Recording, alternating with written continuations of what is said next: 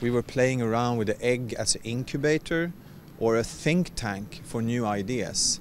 So hopefully people will swim in a bit like sperms and they will sort of inseminate the egg and then create new life.